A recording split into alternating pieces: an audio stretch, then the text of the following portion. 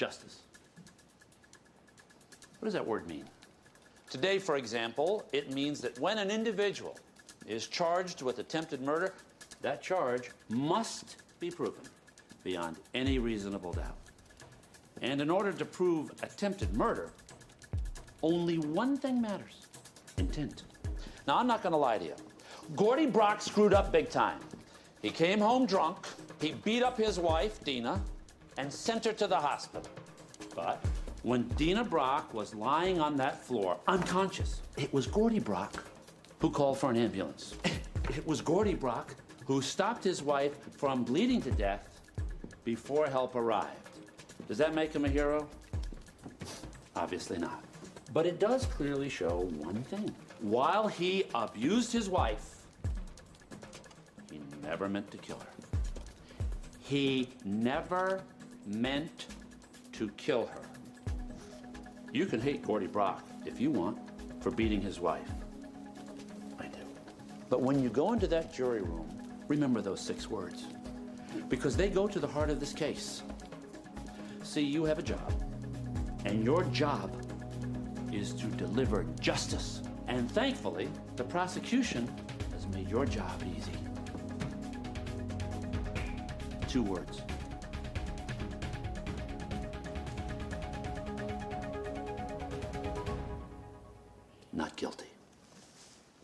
Always decide so fast? Well, three hours isn't my record for an acquittal, but it'll do. You really saved my ass. You just remember what we talked about. Yeah, got a meeting tonight. Good. Okay.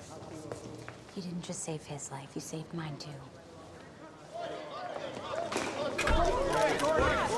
Shark strikes again. Ah, Madam District Attorney. Should have tried this one myself. You know, as much as I love going head to head with you, Jess, wouldn't have mattered this time. Attempted murder, Gordy Brock is headlines. You went for the glory, you lost. I tried to put away a wife beater. Gordy Brock belongs in prison. Well, the jury disagreed, didn't they? But if it's any consolation, you look really hot in that suit. Dream on. I will.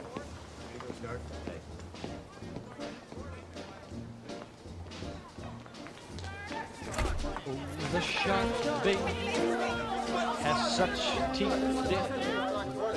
and it shows them pearly white. Just a jackknife has old MacHeath, and it keeps it Yeah. out of sight. Margaret, why be a buzzkill?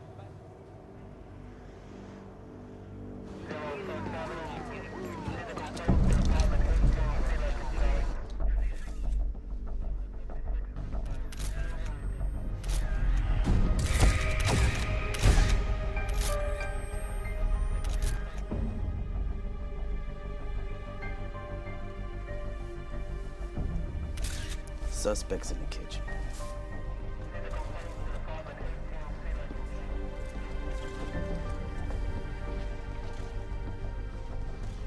It's my lawyer, boys.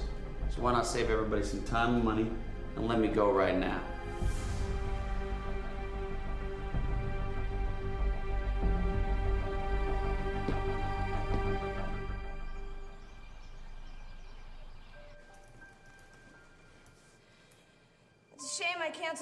Shoot. Margaret, why are you still here? I've been asking myself that for nine long years. Well, then surely you're familiar with the phrase cancel everything. Your clients are. You gotta get back on the horse. Now, look, here's a tip, okay? Why don't you take the equestrian metaphors and shove them you know where? That's nice. Why aren't you in school? It's 4.30 in the afternoon, Dad. Huh. Do you want more green peppers in your eggs? Not hungry. It's because you're depressed. Hi. Hi. Mm. Ooh, you smell. When was the last time you took a shower? Tuesday. Look, Dad, after the whole Dina Brock thing, it makes perfect sense for you to punish yourself out of guilt. The White Teen Oprah speaks. Yes, well, the scars of my broken home have made me wise beyond my years. Come on, Dad, it's been a month. I'm really worried about you. Hmm, These are good. I'm okay. Yeah? Really. Yes, I am. Shouldn't you be getting home? Oh, I just came by to remind you about the custody hearing. I don't do custody, honey. Custody of me, Dad. Turned 16 last month. Thanks for the card. Ouch. Sorry. Now I have to decide who gets final custody, you or Mom. That judge was a major putz. You got a phone call. I'm out. It's the mayor. Said something about a 10 year audit on your city tax return. You read Lopez this morning? Aspen's still the playground for the rich and famous, but LA's a new hotspot to get away with murder. You should audit his taxes. Truth is, I'm sick of the poor going to jail for jaywalking while millionaires kill each other without missing a massage. We're starting a high-profile crime unit in the DA's office to nail rich folks with fancy lawyers like you. What's so funny? Huh? I tell you what, Mr. Mayor, you put 10 prosecutors on a big time case, you give them all the money they can spend, and I'll bury them alive every day of the week with a matinee on Wednesday and another on Sunday. So you think Devlin's incompetent? Hey, she got great legs, but she doesn't know diddly about winning big jury trials. That's why I'm bringing somebody from the outside to head the unit. Uh, what schmo would take that job? Come on. Me, a prosecutor? What are you? No. Come on, why not? I, I eat prosecutors for breakfast. They're my main source of fiber. Come on. Better to shake up the DA's unit, huh? Winning is what you do, and it's what makes you the man. And I consider this a personal favor. But Jessica would never go for it. I've got a 67% approval rating. She's got editorials screaming for her head. She'll do what I say. Manny, give me one good reason I should even consider this. I'll give you three, hermano. You feel bad about Dina Brock, you're sick of playing on the wrong side, and you don't want to go out like this.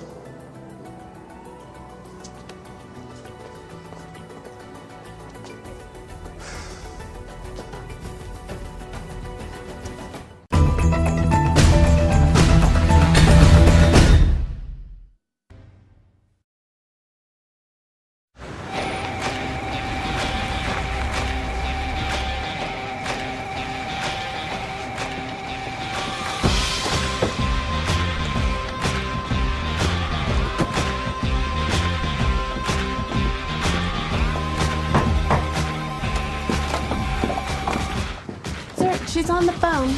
Really? Come on. Let's get this over with. Let me call you back. Welcome to the district attorney's office, Mr. Stark. Ms. Devlin? Oh, this baby should get me out of a few speeding tickets. Thank you. Thank you. Do you mind telling me what the hell you're up to? Wow, look at these digs, huh? Pretty good for a city employee. Comes with a great parking spot, too. Unfortunately, some jerk is parked in it. Wow, some people have no respect, do they? Hmm. Look at that. Terrible. So what, you think you can just waltz in here and cleanse your conscience by putting away a few felons? Hey, the mayor asked for me. You know what I want, Jess? I want us just to all be able to get along. And I want the Rams to come back to L.A., but you know what? Not holding my breath. You know, I made my bones humiliating this office on a daily basis. But I want you to know it was never personal. That's because for you, the legal system's just a game to be played for fun and profit. You mind? You know what? You make that sound like a bad thing. Maybe not for a defense lawyer, but a deputy DA represents this city. And generally not very well. You are a good attorney, but the people in your office, they, I don't know, what's the word I'm looking for? Oh, yeah, suck. Big trials require a big Oh, gun. please. You screwed up. We both know that's why you're here. Oh. No matter how many criminals you put away, Dina Brock's blood's still gonna be on your hands. Yeah, what about your hands, Jess? If this office had the faintest clue how to mount an effective prosecution, the guy'd still be in jail and should still be alive. Well, this should be fun. Yeah, Mardi Gras. County of LA v. Jennifer Dennison. Joking, that's a dog. Accuses a 20-year-old singer Yeah, charged charged with of sex- second-degree murder in the death of Terrence Rourke at the Chateau Hotel. Accused claims the victim raped her and she stabbed him in self-defense. Am I supposed to be impressed? Guilty as sin, you're right, but unwinnable. Next. All right, you listen to me. Delgado may have forced me to hire you, but this is my office. You prosecute the cases I choose. Okay. What, the morgue wasn't available? Ah. Break a leg, counselor. I hear he bribes jurors. Zero conscience. He's scum. He won the Fry case by getting Judge Cranepool's kid into Berkeley. That's completely unethical. And the conviction rate of this office is completely pathetic. And it was Harvard, by the way. Well, it's clear you think you know me. Let's see what I know about you. Richard Casey Woodland, backup QB, USC, dad's a state senator, charming, good with the jury, weak on the facts, not a rocket scientist. Billy Willis, smart, passionate, lets emotion cloud her judgment. Martin Allende, Allende. Loyola Law Review, great on paper, weak on his feet, couldn't close a window. And of course, Take your best shot. Raina Troy, tough, brilliant, and I used to dream of getting you on a case. Major authority problem, a contempt citation waiting to happen. Whatever. I rest my case. I have a dossier on every single prosecutor in this building. No die enemy. Aren't we on the same side now? Well, the jury's out, isn't it? But of course, if the Dragon Lady assigned you to me, I guess you're on her hit list. That means you're damaged goods, and that means that we have something in common. Madeline Poe. You're not on the list. I volunteered for the unit. Well, I appreciate that, but you're not on the list. I graduated cum laude from Stanford Law, clerked for the Ninth Circuit, and I've led this office in convictions for the last two years. I intend to become a defense attorney, and I'm here to learn from the best. Well, there you go. Sucking up. An effective tactic. Sit. You know, people say that high priced defense attorneys beat prosecutors because it's easier to prove reasonable doubt than certain guilt. But there's a simple explanation for why I always win and you always lose, my vastly superior abilities as a lawyer notwithstanding. A prosecutor must conform his case to the demands of the legal system. A defense attorney conforms the legal system to the demands of his case. You want to win? Grab a pencil. I live by three simple rules my cutthroat manifesto. These rules guide every single decision I make on every single case. Rule number one trial is war, second place is death. Rule number two truth is relative. Pick one that works. Rule number three in a jury trial, there are only 12 opinions that matter, and, Ms. Troy, yours, most decidedly, is not one of them. Now, from this day forward, every case will be David versus Goliath, and guess who's holding the slingshot? Now, I have some bad news, and I have some truly horrible news. The bad news is, from one of your lamer colleagues, we have inherited the Dennison case. The jury is lousy. The opposition has unlimited resources. The truly horrible news, we go to trial in 48 hours. For this to work, you must accept that winning is the only thing that matters. What about justice? Hey, your job is to win. Justice is God's problem. So, guys, you're either on the bus or you're off the bus. Let's get to work. I've seen you on television. Occupational hazard. You represent criminals. Terry wasn't a criminal. Mrs. Rourke, I'm here to help you. So please tell me about your son. Terry was a great kid. He always loved music and photography, shooting videos. He could do both. Did Terry have an active social life? He dated a lot. Girls liked him. I have to ask. Was he in the habit of having one night stands? Do you have children, Mr. Stark? 16 year old daughter. Then you know. Once they start to grow up, they don't always tell you everything. Maybe you don't want to know. Just pray they're safe. I believe this girl murdered your son. But I have to tell you, it's going to be tough to convince a jury of that. I understand. But the thing is, Terry could never have done what she said he did. And if I'm going to find a way to go on living, I need the world to know that. Well, then I'll have to restore your son's reputation, won't I? And I give you my word I will.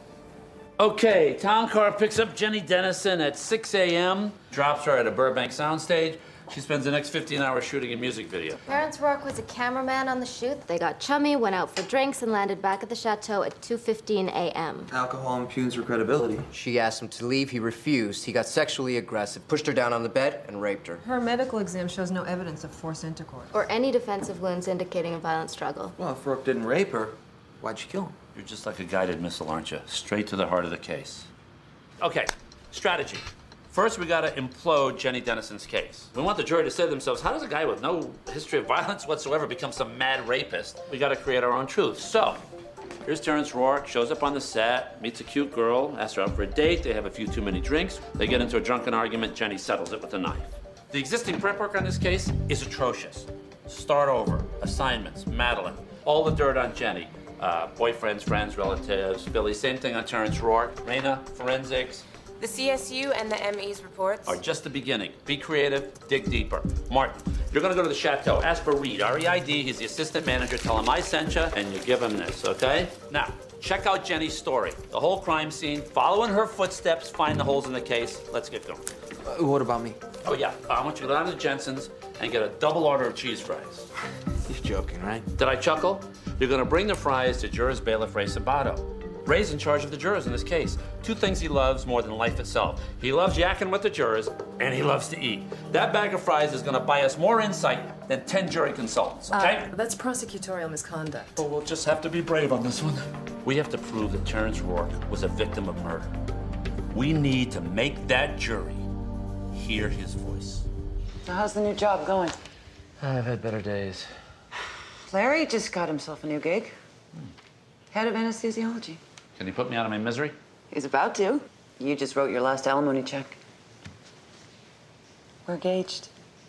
Aw. Is that for my happiness or the alimony? Yes. There's more. Larry's new job is in New York. Oh. There's a great private school for Julie there. The custody hearing will be over by then. Timing seems good. What do you think? I, I mean, you obviously thought this all out, and you always seem to know what's best for Julie. No, it'll be great for her. Hmm. And hey, we always, we always talked about moving to New York one day, remember? Yeah, right, but it's a slightly different version. Did you tell him? I told him. Pretty freaky, huh? Yeah, yeah, pretty freaky. But you're still gonna come visit us, right? I mean, I know you're always swamped. Oh, you but- kidding? No, I mean, hey, we'll, you know, hit the Broadway shows. We'll watch the Knicks lose. Yeah, no, it, it it'll be great. Great. Mm. Yeah. Yeah. Good. Okay, so we'll let you get some work done.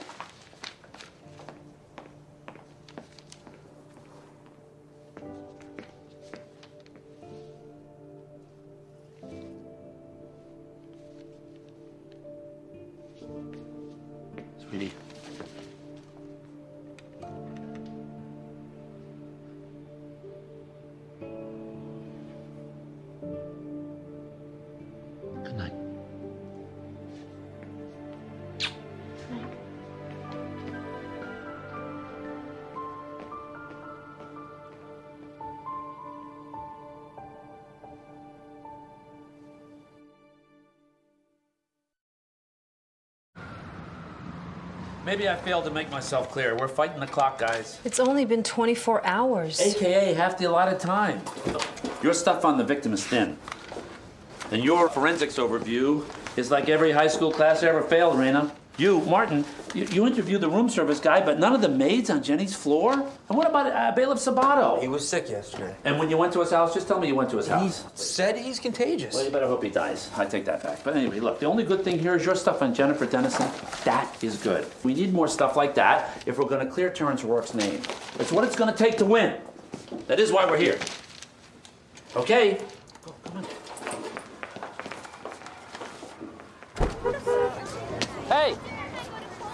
Hey, Julie! Um, that's my dad. I'll call you guys later. Hey! Is mom okay? Why wouldn't she be? Well, why else would you be here? I was in the neighborhood. Why? Is it so bizarre for me to stop by? You haven't visited me at school since the third grade, so yeah, this falls under the bizarre category. Fine. You want to grab a bite to eat? What about your case? Oh, the evidentiary hearing got bumped till four. I got a couple hours, so. Are you sure mom's okay? Hey, look. You know, I thought with you leaving soon, we might hang out a little bit. But if you don't want, I can Look, eat a that's power not what bar. I said. mean, I- Uh, look, the thing is, I was just headed down to the Melrose. oh, that's good because I need a new pair of leather chaps. Well, actually, You ready to go? Dad, this is Jared. Pleasure to meet you, Mr. Stark. Jared? Caught the Brock trial on court TV. It was a killer crossing the neighbor chick. Yeah, thanks. That didn't work out so well as it turned out, but yeah. Uh, Jared, you know, my dad and I. Uh, No, sweetie, it's okay. You, you two go. Okay, I'll see you later. Are you sure? I'll catch you later. Good meeting you, sir. You too.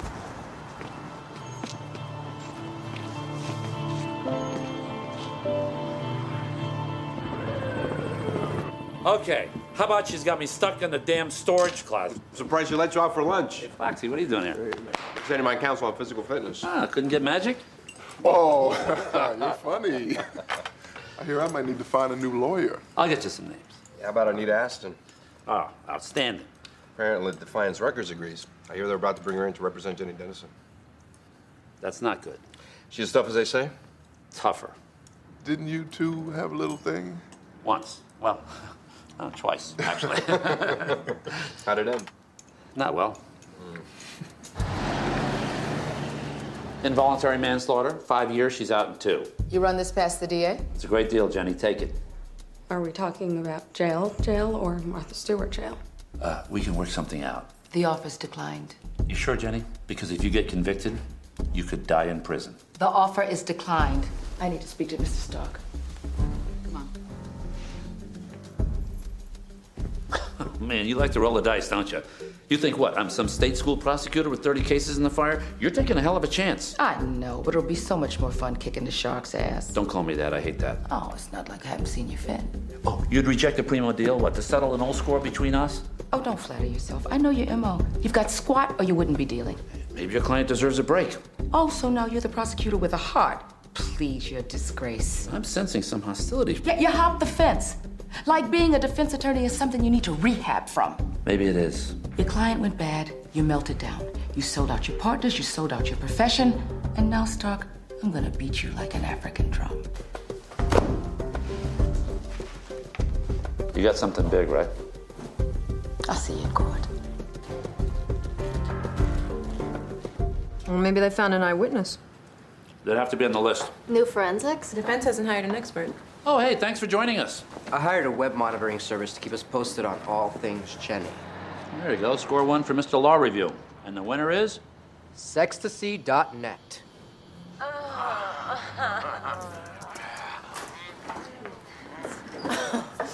oh, God, is that. Jenny Dennison and Terrence Rourke minutes before she killed him. Oh, so much for Jenny being the innocent victim. And now that sex is definitely consensual. Kinda hot, too. This thing's a slam dunk. This thing's a train wreck.